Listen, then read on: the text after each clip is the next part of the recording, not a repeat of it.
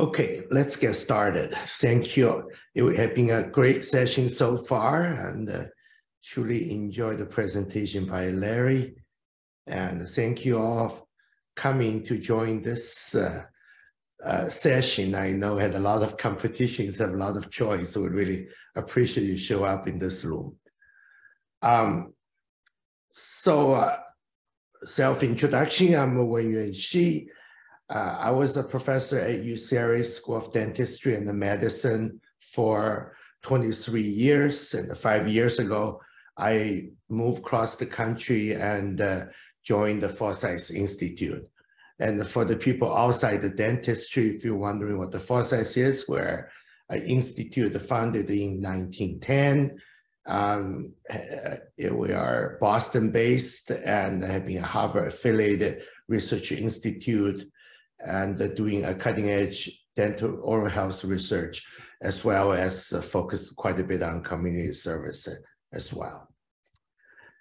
So um, a little disclosure to get started and uh, back at UCLA and with the West Coast mentality, when you do a good science, the investor knocking your door. So I get involved in set up uh, uh, founded multiple startup companies and uh, including C3 Jian Therapeutics is now a public traded company called Armata Pharmaceutical. Um, after joining the Forsyth, we spent quite a bit of the time and to building the ecosystem to supporting the research involving technology development. Just like today when we talk about data science, those are very exciting technology could disrupt in the dentistry. And so we have the opportunity and to work with uh, all the stakeholders in the ecosystem, whether you're a global dental company, whether you're a, a startup company, or whether you're an investment firm, and we work with them very closely. And that is the focus of my today's presentation. So since we're talking about disruptive technology, I wanted to get started. We all know it's the sugar and who have create the dentistry as a profession. And uh, our modern human being takes a lot more refined sugar than our ancestor, and uh, which is totally changing our oral microbiome composition, which leads to a dramatic increase of the tooth decay and other associated disease. And also the discovery of the fluoride had been dramatically reduced uh, the, the tooth decay rate. Forsyth Institute is very proud to be one of those teams contributed to figure out the mechanism of the fluoride protective mechanism. And uh, as you can see, the single in, you know, discovery and have been totally changing the way we're treating the dentistry. And it comes to University of Michigan, W.D. Miller, and uh, is really the one, you know, through his microbiology and the dentistry connection, and understand the plaque, which is containing a cariogenic bacteria, and who is uh, working with the, uh, the, the, the sugars and uh, who generating the acid that leads to the decay. And it is that discovery founded the modern dentistry and where we try to remove the plaque and we try to control the sugar uptake and we try to repair the damage. And uh, if you look at recently, those are historical disruptive events. And uh, if you look at recently, and uh, it's, uh, you know, Dr. Brånemark and uh, when the uh, accidental experiment finding titanium had great osseointegration ability and a single discovery and it leads to now a $10 billion a year implant business. And you may or may not heard Invisalign, who is really impacting the orthodontic industry and was really set up by a Hollywood computer visual effect specialist. Dr. Charlie Wan is a Caltech, you know, special imaging person and uh, uh, who are responsible for making all those cartoons on Godzillas or uh, Star Troops and uh, who have been using the similar technology and to control the tooth movement, which ultimately leads to the genesis of the Invisalign. So it's really today's topic is what are the you know new uh, innovations will disrupt in the dentistry. We talk about the data science, and there's so many other things. It's there, and uh, and and and how we're going to actually creating the ecosystem to make it a reality. Now, dentistry is changing, and as we know, we get more and more female students in the dentistry. Even though for a while, some of the dental schools are closing and uh, reducing uh, its student rate, but now it's booming than ever. And we have more and more new dental schools are popping up. American is also aging, as you can see by 2020, 35, and we're going to be having more elderly than our youngsters. And, and you can see by the moving to the 2024, the proportion of the elderly will be dramatically increased, uh, which means uh, the needs in dentistry will be changing dramatically. Those are the big data that have been guiding us to the right direction. And certainly we also know, and I love that picture of uh, uh Larry had been showing for a while, you know, the oral cavity and dentistry gets isolated with the medicine, but it is the time to put the mouse back to the body and uh, the discovery of the oral and the systemic connection had been make a huge difference. So with all this as a background, the dentistry is changing, new technology is coming up, and uh, how we're going to be actually supporting the new technology. As you can see, the few of the cases I mentioned in my previous slides, most of the disruptive revolution in dentistry is done by a certain accident and uh, have ne never really have any organized effort. But now we're in a different era. And uh, if you're reading that 2021 uh, NIH report, uh, Oral Health in America, will realize the emerging technology who are disrupting the dentistry have been very much uh, being, you know, all the experts would be agree either on the preventive dentistry and we need uh, understand that, you know, and periodontal disease as a microbial infection or information disease more. And we need to come up with the right tool to managing the disease. And uh, also you know, the, the digital dentistry and uh, uh, to creating a fully functional digital process, all the 3D printing CAD-CAM is going to be changing the way we practice dentistry. But between those two very important areas, what is connecting them is the data science, which we talk a lot today. And, uh, and this is a, a, truly a very exciting area and, uh, and going to changing it but how to actually making the data to truly serving our daily practice and how we making those creative idea and to ultimately become an innovative product to be used at clinic. The Death Valley is uh, very deep. And uh, if there is a Death Valley in medicine, at least the last 30 or so years, and so many of the investment firm have been set up. So many of the incubators and accelerator is available to do that. But in dentistry, such a support is very limited. Um, so this Death Valley has been really uh, deep than ever compared with a lot of other disciplines. And this is where we're talking about the ecosystem. Because uh, in order for anything to have an organized approach.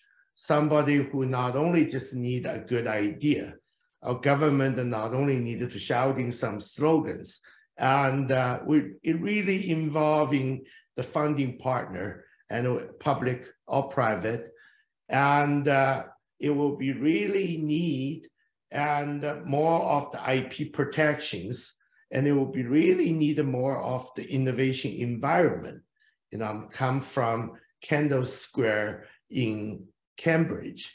And that little square miles, you got thousands of company.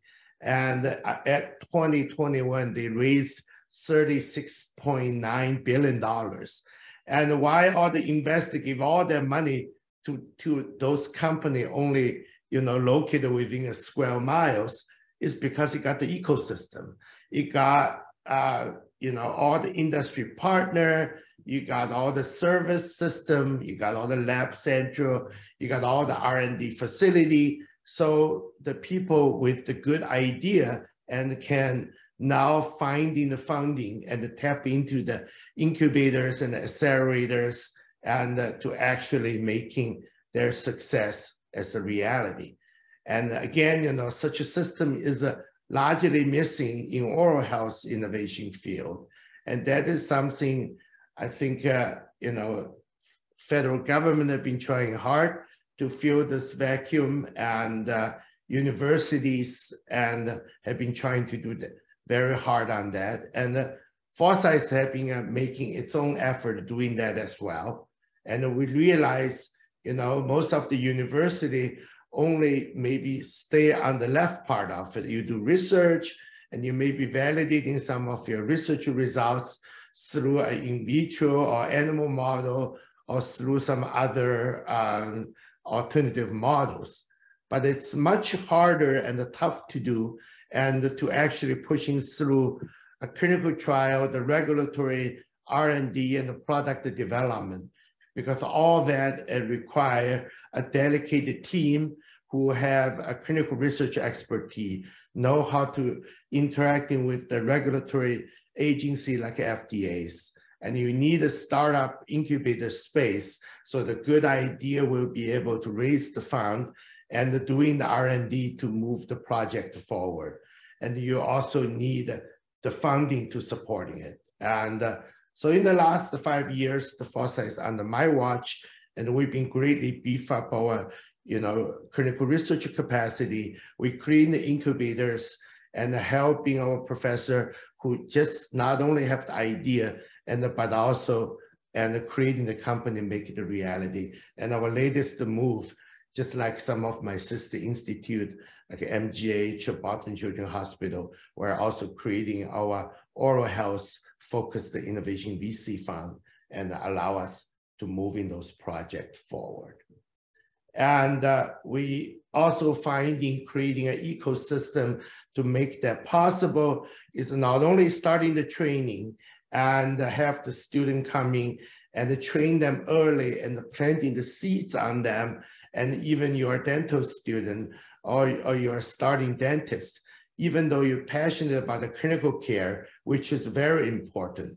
But you could also make innovations in the dental field, okay, which is a, it's something really needed in the dentistry. And you could make an even bigger impact, just like the, the, the creation of the Invisaligns or implant. Um, and then we were also creating courses like from lab to market and to train the professors and uh, who have the passion for technology development and uh, to move it forward. And furthermore, we also find in order to creating the ecosystem is particularly important is bring the investors and the inventor together. Since uh, 2021, and uh, we've been uh, creating this dentistry focused investment forum. And we actually have 80% of the uh, now the global uh, investment firms and the startup company showing up this events and allow them to interacting with each other. And we've been helping uh, many of the startup to be funded or getting the vis visibility and for the investment community know them better. Now there's so many things we could do. And uh, when it comes to digital health, and the data science. And uh, among them, you know, AI, whether it's an AI-driven treatment plan or AI-driven teledentistry, using AI to uh, more effectively uh, detecting insurance fraud. Just so many of the technology could be using and will be disrupting the future of the dentistry. And we're very proud is actually all of the many companies who showed up uh, uh, in our Dentech presentation, one of our star and uh, is Overjet, and I'm very excited to have that uh, have a Chris be our co-presenter and for this session give you some actual flavor of how a MIT derived the technology company be able to raise $80 million and in a very short period of the time, and they're doing some very exciting work can potentially uh, disrupting the dentistry. So with this, I want to thank you all for listening. And if you wanted to get some more information about this, and uh, feel free to contact me with the email below. And uh, before I'll turn the table to Chris, I'm more than happy to entertaining some of the questions you have about the importance of the ecosystem, how you get involved in the ecosystem, and, uh, and how you want to create in the entrepreneurship. Thank you for listening.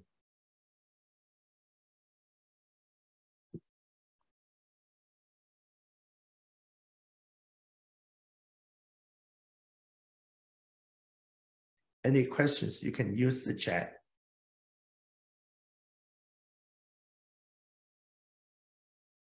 Oh, Chris, I'll just turn to you to talk about your cool technology and your experience as a dentist in technology innovation, and then we could address some of the questions altogether in the end. Sounds great, Dr. Wen. Thank you so much. And, and uh, a lot of information in 15 minutes. I think you practiced yours more than mine. I'm going to try to keep time. Um, but, uh, you know, it as I'm going to share my screen now um, and, and give a little bit of, of a background of where I came from and, and what we're doing as a company and ultimately how we wouldn't have been here without the help of um, some of these incubator programs that Dr. Wen was speaking to in particular, uh, Harvard's incubator program. And uh, let me just know when you can see my screen. Uh, if anyone just wants to give me a thumbs up and we'll get right into it.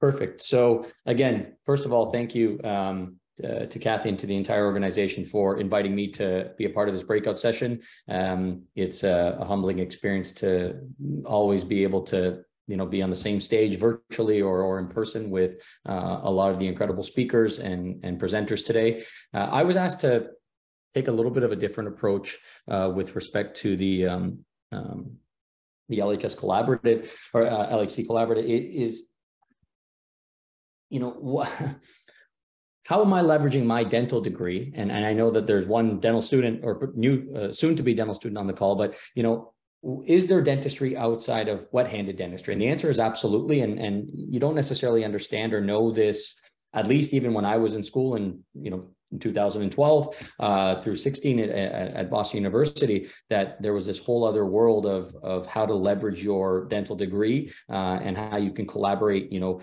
cross um, discipline um, and, and, and, and, you know, cross functionally in many ways. So uh, a little bit of my presentation today is going to be about sort of my story and it's just starting and our company is just starting. So I don't have an end goal to say, you know, how successful has my entrepreneurial journey been? I think right now it's um, it's been, you know, a great learning experience and I'm, I'm going to speak to the early parts of that. Uh, and what exactly uh, are we building uh, with with the company that we had started? And how hopefully uh, does that fit into exactly what dr Wen had ended the presentation? You know as we're having some of these technological paradigm shifts um, you know towards digitization towards automation um, ai seems to be a you know a big buzzword and and and you know interacts with us and with other things um, a lot more than we're aware of right now. And at Overjet, what we've been building out from a, a dental application uh, to improve uh, oral health care and overall care healthcare for uh, for patients is what you're going to be hearing about today. So my name is a quick conflict of interest. Again, I do have some um, of a conflict in the sense that you know we started the company overjet a, a few of us out of boston and uh, and you know I, I actively work for them. So everything you're seeing will be my uh, views that i'm expressing and and should not reflect you know the organization. Uh, and again i'm not being paid for this discussion today but i do have a financial interest in uh, the product being or the products being discussed. Uh, in general though this should be aspirational and, and I'll, I'll try to keep it that way.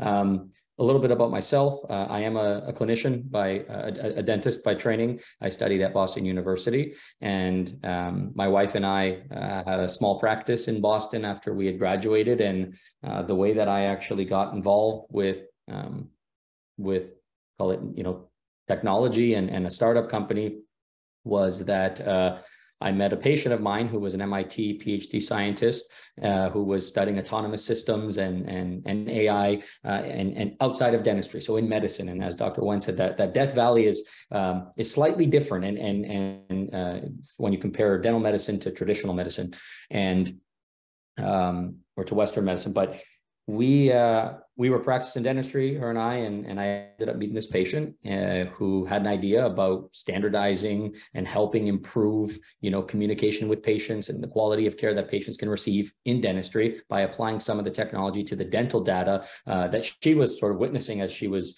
um, uh, embarking on her own dental journey.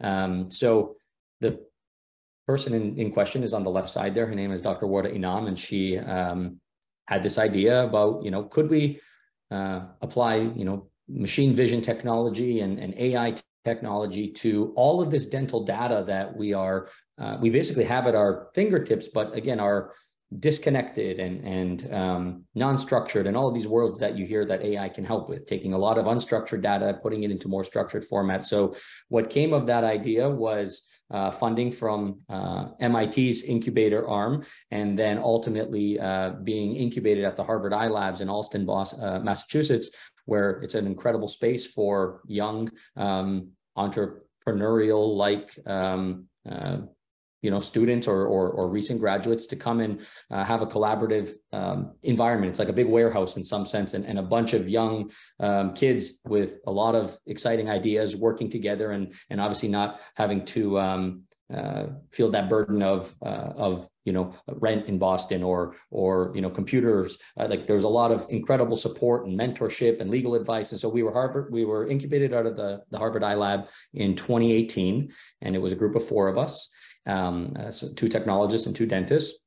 And that's how I started, you know, scratching the surface of um, non-traditional uh, dentistry, uh, because again, I'm still practicing dentistry right now, but in a very different way. I serve as one of the uh, VPs of clinical affairs for Overjet, but you know, I'm using what I know about dentistry to help uh, impact the lives of many people, where, or at least you know, we're, we're starting to uh, to see that that uh, revolution uh, by you know employing what I learned at BU and through my mentors and through uh, dental practice and, and how we can actually build a product that um, you know is ethical and evidence based and and all of these things that again we we adhere to from uh, when we actually treat patients, but we want the technology to uh, to be in line with those principles. So on the left, that's Wardah and I. On the right is a super exciting day. And I wanted to post this here for anyone who's even a dentist, not a dentist, but this was three of our machine learning scientists when we were a group of seven of us.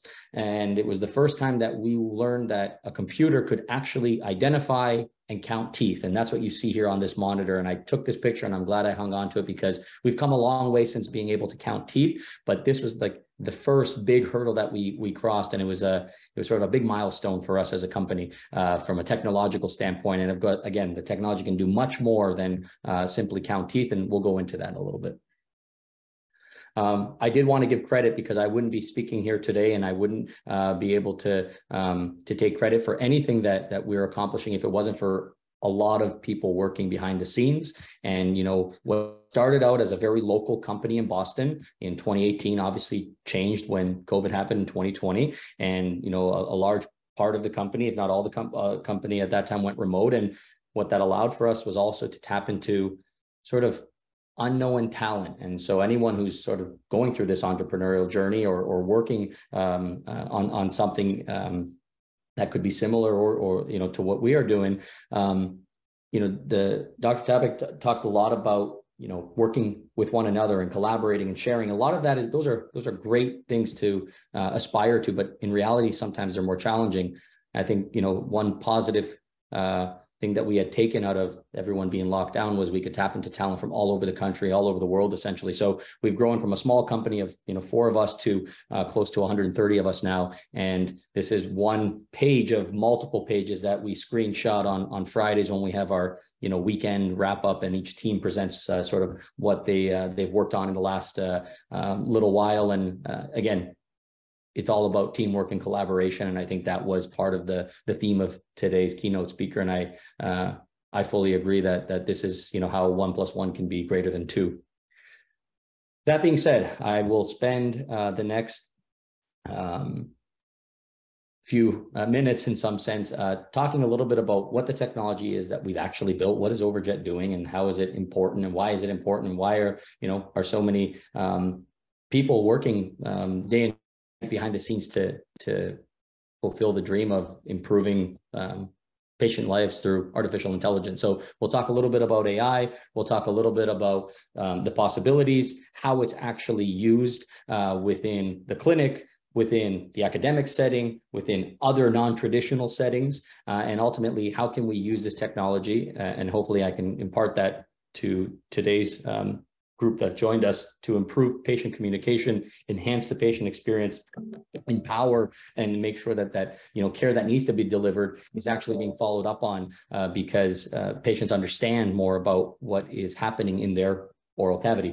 Um, so, you know, in some sense, put yourself uh, in in the chair of the dentist as we go on this ride right now. So on a high level, this is you know this was one of the problems we were trying to solve. I'm putting an X-ray up here, and you don't have to be a dentist to.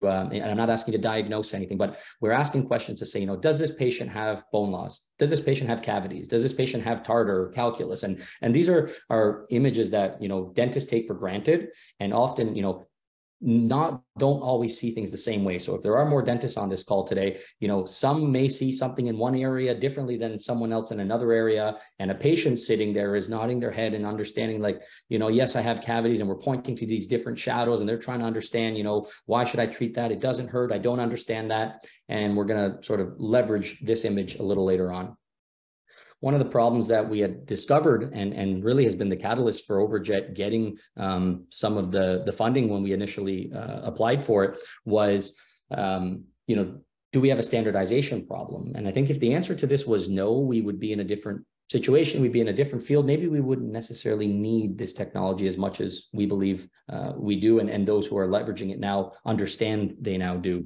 And so this was an image that was submitted when we were trying to find folks to come and help label data. And we'll talk about what that means in, a, in just two slides. But basically what you see in blue boxes there on this x-ray are five small little cavities. And those were clinically confirmed. And this is our ground truth. And, and when it comes to AI, there's a lot about having a good ground truth, non-biased ground truth, truth, well distributed. And I think there was, you know, some discussion in the keynote to say, you know, how do you have data sets that aren't biased towards one thing or for the other? It's a hard problem to solve. It's even harder when you have to have humans train those AI models. And when we give this image to 75 dentists across the country, those who just graduated to those who just um, um, or those who have just retired, and ask them three simple things that in a blue box, you know, put uh, put a blue box around a certain uh, type of decay. For the clinicians on here, I'm looking for primary decay. Put an orange box around secondary decay. I mean, that means cavities that are, you know, around a filling. And then the last question is, would you treat this? And I start all my lectures with this because I think it's a very powerful, powerful uh, visual. We combine 75 of those results into one image, and this is the result of that. So if this is you in that chair right now, and you saw 75 dentists, you would have nearly every single tooth, and every single surface treated because the answer to would you treat this, which was our last question, blue box, orange box, would you treat this, was at least yes to every one of those boxes by at least one person. And so that was sort of the the the catalyst that that allowed us to to to one you know confirm that we were our hypothesis that the industry could use some standardization and that AI we believed could help with that um, was based on very quickly on a high level, I'll be using terms like machine learning and deep learning. And, and again, uh, AI being this, this overarching umbrella term, but we're operating at the, at the ML and, and that deep learning level. And uh, when we're actually um, focusing on what we're talking about here today.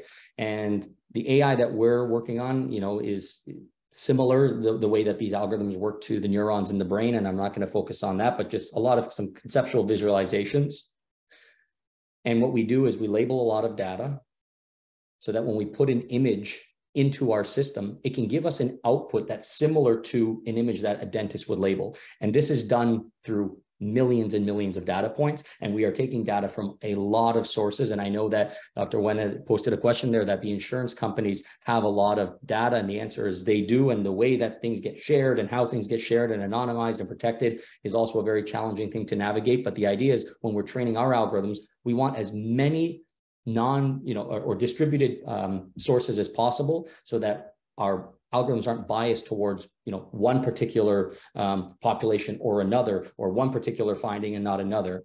And so what that allows you to do is you know um, really pull out extremely interesting artifacts out of these are black and white x-rays that AI is looking at and and, on, and from a visual perspective you can see the AI is pulling out different anatomical landmarks in yellow and we can begin to combine you know different data points and measure certain data points uh, and apply that to evidence-based science to actually help doctors make better decisions for their patients.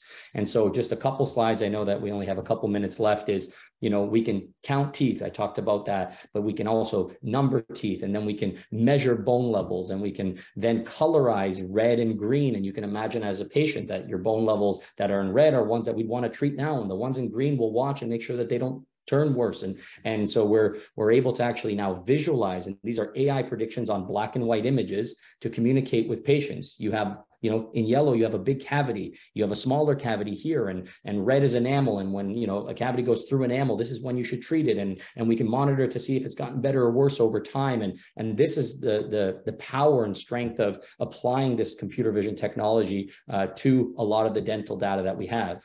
You know for those of you who unfortunately had a root canal we are looking for, you know, abscesses and then the quality of the root canal over time. And then obviously looking at different types of radiographs for the dentist on the call, where we're not just looking at bite wings or PAs, but we're looking at panoramics and CBCTs. Uh, we're looking at intraoral imagery. We're looking, reading chart notes. And what we're doing is we're taking all of those data sources that we have available to us in the practice setting, in the academic setting, even in the insurance setting at times, and combining those uh, to help make a, a decision. So I'm going to go back to that first radiograph and, and just very, uh, you know, uh, quickly walk you through as you were the patient. You're the patient here, and I'm speaking to you that you have, you know, you need a deep cleaning because you have some bone loss. And I'm not only using this image, of course, I'm using the patient and medical history and, and a lot of other data, but just radiographically for uh, um, uh, argument's sake here, you know, there's a lot of things going on here. And if you're able to leverage those AI models that I had just uh, walked through on the slides previously, you can imagine now when I start talking about bone levels and you can see those measurements in different colors and tartar and orange boxes and decay in different colors because not all decay is equal. Some decay can be treated, in, you know, invasively. Some can be treated non-invasively and therapeutically, depending on a number of factors. And so applying AI visualizations, you can imagine can help on a number of fronts uh, with standardization amongst clinicians, um, education for students, and especially empowerment for patients. The impact to the dental ecosystem, and obviously this is all about the LHA system today, but you know, when we're when we're actually looking at all that data from the practice management system, from the imaging software, from the medical history, we can combine that and obviously process that through our cloud-based platform and bring it into a single place so that it's there in near real time for, for patient use and, uh, and provider use. We can do research, right? We can track things over time quantitatively and at scale. We're not just talking about one, two, ten cases because it takes a long time to collect that data and measure that data. We can look at thousands, tens of thousands, hundreds of thousands. This is some research that we're also doing um, uh, with Harvard um, and have been doing so for the last uh, little while to look at you know progression of disease with well-controlled or non-well-controlled diabetes and really again putting that head back on the patient uh, for those of you who were uh, part of the, the keynote speaker uh, um, uh, discussion.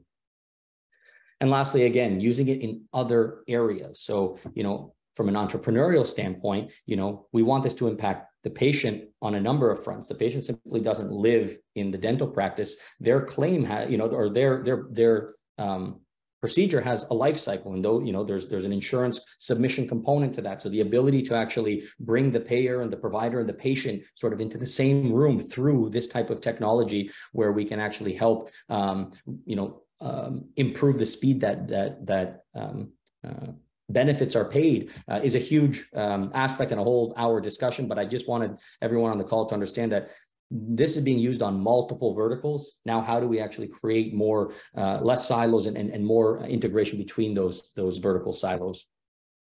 And for students, and, and you know, it's it's a training partner, it's a tool. It's like using loupes if you're a doctor to see better, or using a microscope if you're a scientist. AI is here to make you better and and and make you better at the things that you're already really good at, right? We are all trained as clinicians to, to be diagnosticians, to be surgeons, uh, to be, you know, communicate or, or, or, hopefully be uh, good communicators. And if we can leverage a tool like this to help with that, um, and, and a patient gets healthier as a result, or we're able to have an impact earlier than later, that's a, you know, that's a, it's a game changer and a paradigm shift in, uh, in, in the dental field. And the ADA, I just want to mention here, has recognized the importance of this and just published a white paper last week. For those of you who aren't, um, if you are ADA members, you can find this on their website. But um, this overview on artificial and augmented intelligence is a great white paper and summary about a lot of things on on AI and and and it's nice to see that that you know our uh, sort of advocating uh, organization is getting behind this as uh, in the dental community. And then lastly, just impacting patient understanding awareness and case acceptance in two minutes, and then we'll, uh, I know we still have time for questions, um, is, you know, in real time, right? You come in, you have your radiograph taken, you're either a student in a dental school, you're learning in a classroom, you're a patient in a chair, you're a doctor in your operatory, uh, you're a clinical reviewer in an, in an insurance claims um, uh, office. This image comes in, the AI is run on it, and then it's brought into a single place and a single portal for you to interact with that information and, and be able to leverage that uh, the power of AI, uh, you know, at, at a couple, uh, you know, at your fin fingertips in, in some sense in this interactive portal where all data is being brought in from the PMS, from the radiograph, from the medical history, from the claims history, and everything can come into this single point of contact, sort of sorts of truth, if you will. And this is what it looks like. And this is a you know a real-time video of how it's being leveraged by a clinician who's identifying and using AI to help a patient understand what do all these different shadows and data points mean and we can colorize and visualize uh, we're going from you know uh, black and white television in some sense to to a, a world of of of color and transparency and consistency and accuracy uh, and allowing that patient to leave the operatory knowing more about their oral health than when they entered. And that's my goal as a clinician. I think that's all of our goals as, as providers, uh, irrespective of the setting that we practice in.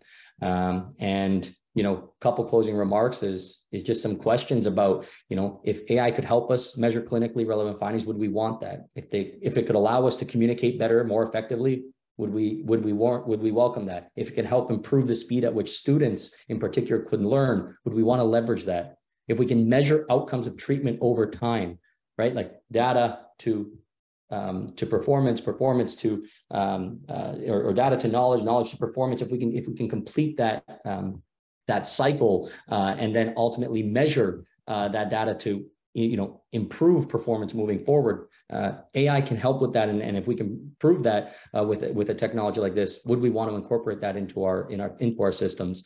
If it can help us become better diagnosticians. And lastly, if it can help augment our clinical abilities, can it make us better at what we already do well? Can it allow us to see better than we already do? Would we, would we embrace that?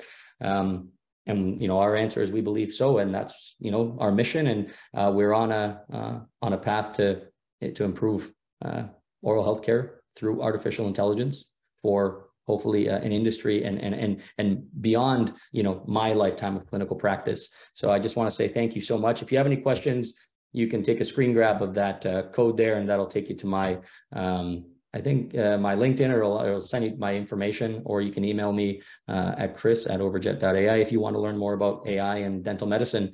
Um, thank you so much uh, for the opportunity to speak to everyone. And thank you for uh, attending in, in the middle of a busy work week to everyone here.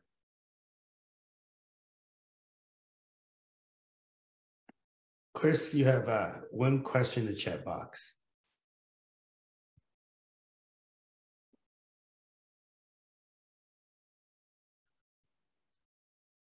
Sure. Uh, from Sujan Samanta, what kind of prediction or simulation models can AI help with when it comes to dental care of troubled teeth in the process? What type of data sets are utilized? Um, happy to have an open, more open discussion. I want to make sure I'm understanding the, the, the, the, question correctly, but could we technically use AI and predictive analytics to say, if you don't do something, here's what may happen over time? Is that what um, is being asked there?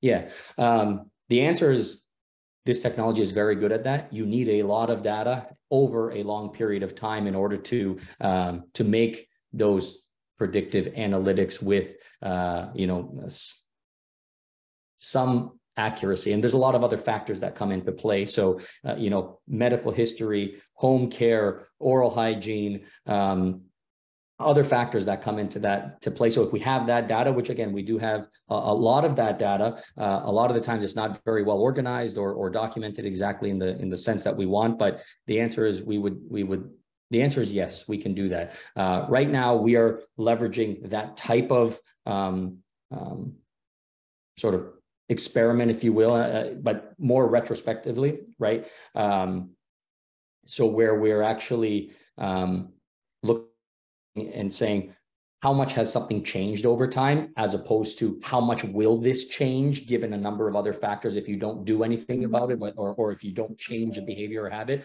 We haven't gone into predicting the future yet but we are saying that you know for example you had a cavity or you had bone loss and it changed by x percentage or it's gotten this much worse or this much better or it's stabilized over time. Um, that's the the aspect that we're we're capturing right now at least us personally. Uh, i can't speak for others. I think what you're speaking about here is 100 percent um, you know will occur i think we need a lot more of that that re- retrospective data and analyze correctly in order to be able to make those those future predictions i hope that helps answer your question I see Dr. Donoff is on the call on uh, on camera there, and it's been uh, thank you so much for joining.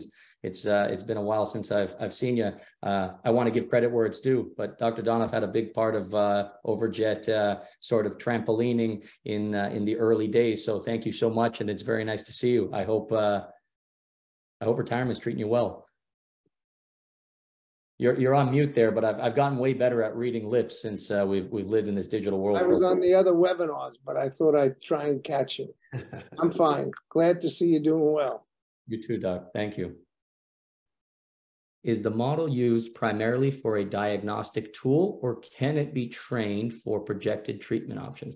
Uh, the answer is again at the moment, and if you hear otherwise uh, from any other call it dental AI. Um, organization out there that we are diagnosing? The answer is we are not diagnosing. We are a clinician decision support tool, and that is what we are cleared for at the moment. And there are semantics that I've learned about through the FDA process, but we're here to support decisions that clinicians are making um, and not make them for them. And I'm going to put a bunch of caveats there because I think the answer is yet. And I think that this will become a CADX type of diagnostic device at some point. Right now, these are all sort of under these CAD-E umbrellas of clinician uh, decision support. Uh, with respect to saying you should do this or you should do that from a projected treatment, um, there are there are um, recommendations to say, you know, with all the data given, this may be a potential candidate for this, but in no way is is the technology and at least ours position to say you should do this right now. I do believe in the very near future, though, we will, especially when you start to incorporate CBCT data, medical data, if we can get that integration together, uh, where you could have, you know, a treatment plan outlined by AI, and it could be more than one, right? And there is more than one way of treating uh, uh, you know the same person. You saw that there were 75 ways of treating the same person. I'm not saying they're all right but the ai could say you know based on the 100 million data points that we've looked at this would most likely be the best treatment option for this patient. And really moving towards that like you know I don't want to use the word concierge medicine. The word that I want is, is not coming to my mind, but it's not a one size fits all. And I'm hoping that AI can help with that to say, based on all of these factors that we've taken in that from the data points that we have, you would most likely benefit from X, Y, and Z versus, you know, Dr. Wen may, may, may, we may have the same condition dentally, but other things, you know, that, that play into that decision um, may change the recommendation. Um, and then how we monitor their, monitor that afterwards, um, I believe, you know, we'll get there. These are aspirational, but I think that the, the answer is yes. And it's not going to be, you know, 10 years from now. I think we're going to see this much sooner than that. So I have a question. Oh, yeah, go go ahead. Uh, no, no, I, that's fine. I just want to make a comment. That is actually making the data sciences more important than ever.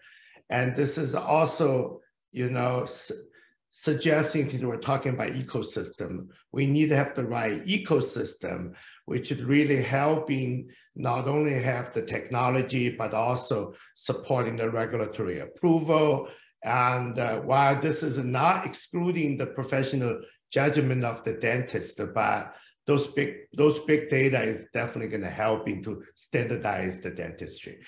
Alex, I'll back to you.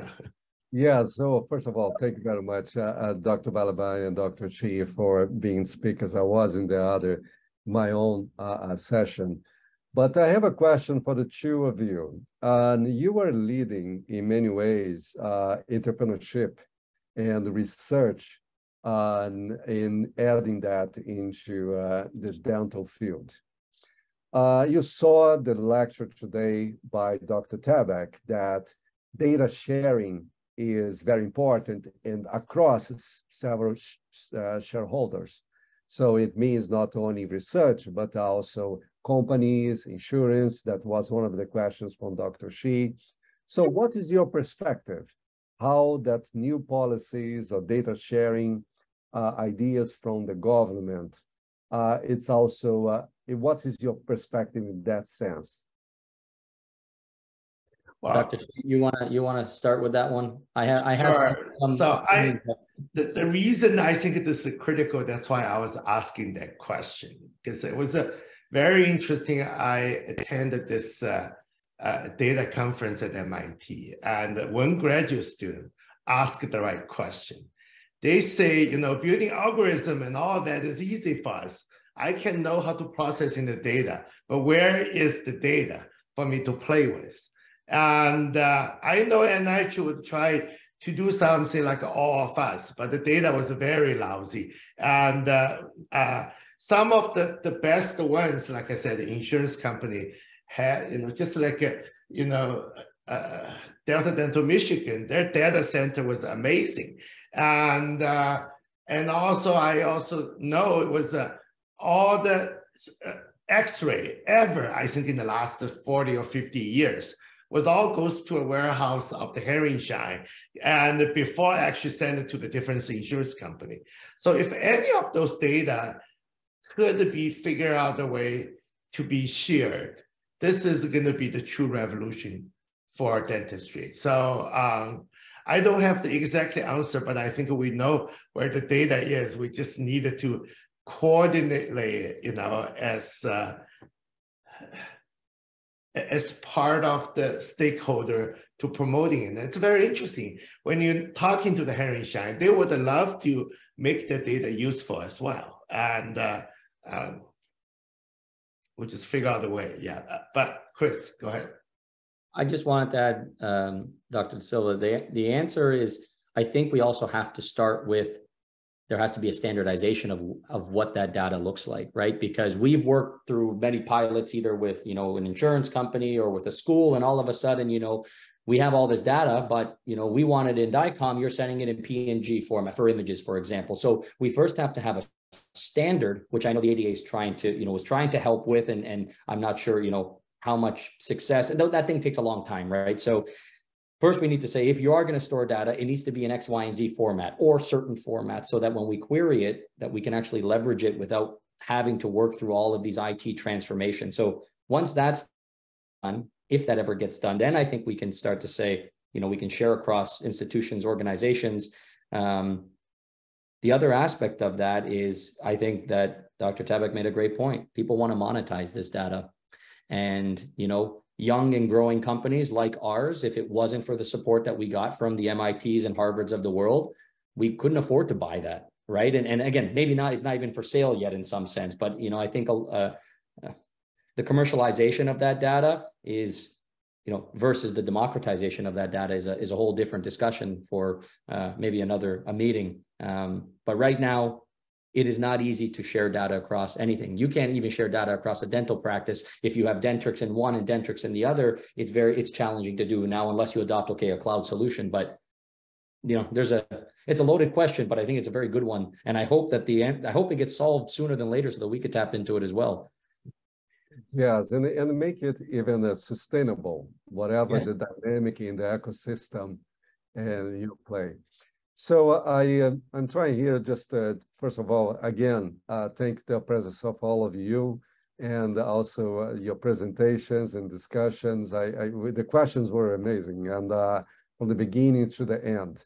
And I hope that we all be part of the next event and uh, and we can really work because we, we definitely need a lot of work in this field.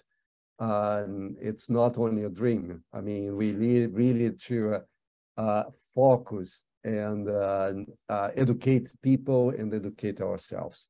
So with that, I thank you, and I uh, we will think about on the next event. Thank you very much, you all. Yeah, Alex, I want to take the opportunity to thank you for your leadership. You know, this is just an amazing event. I truly enjoyed and learned a lot. And uh, I think it's just so right to getting those different stakeholders together and uh, to, to, to get this going. And uh, if I may just say a one last word here, since we're talking about the ecosystem, the concluding remark I wanted to mention is uh, this is a good timing. You know, 15 years ago, when I tried to start uh, my startup, you know, when we raised $200 million, it was a miracle. But today, and uh, you see that story all over the place.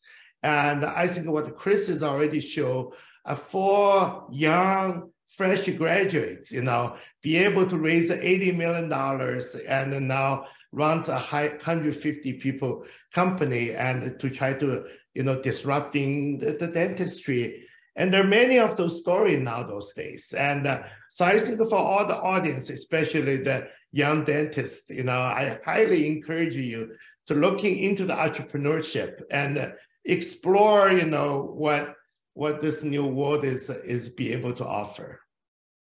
Definitely, because I really want this breakout session because in entrepreneurship, there where we see a lot of innovation. And, and that's what we need to see that perspective and opportunity right now of technologies, of companies and startup like Dr. Balaban, your work, Dr. Shia, like it, helping so many in our field to put this because the other thing about entrepreneurship is the scale up i mean to more uh, users or you know uh, use this knowledge not only for conference but actually the daily activities that you have so that's in practice of dentistry and uh, uh the medical field so this is what's important, is scale up this and reach more people, the innovations that we have. So thank you for all your work on that. Thank you. Thank you very much. Bye. Have a wonderful day.